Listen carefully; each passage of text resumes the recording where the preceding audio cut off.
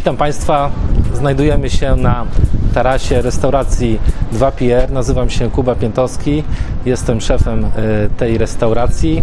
Chciałbym przygotować dzisiaj dla Państwa e, danie typowo regionalne dla naszego regionu, czyli karpia w śmietanie po poniatowsku z dodatkami plusek z kaszy gryczanej oraz pierogów z bobrem. Karpika marynowałem w soli, pieprzu, ziołach oraz czosnku. Smażymy go z dwóch stron na patelni, a następnie na tym samym tłuszczu podsmażymy cebulę, do której dodamy sól, pieprz oraz cukier. Zalejemy to wszystko śmietaną kwaśną oraz bulionem i dołożymy do niego karpia, który się w tym sosie udusi.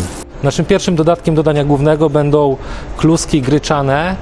Yy, Są to kluski uzyskane z ciasta na kluchy kładzione z dodatkiem kaszy gryczanej.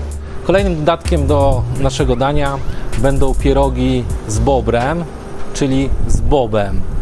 E, Farszem do naszych pierogów są utłuczone ziemniaki z przesmażoną cebulą. Ciasto zrobiliśmy dla odmiany troszeczkę inne. Nie jest to typowe ciasto pierogowe z dodatkiem mąki, jajka oraz ziemniaków. Nie będziemy tego ciasta z nadzieniem naszym gotować, lecz usmażymy na głębokim tłuszczu dla odmiany.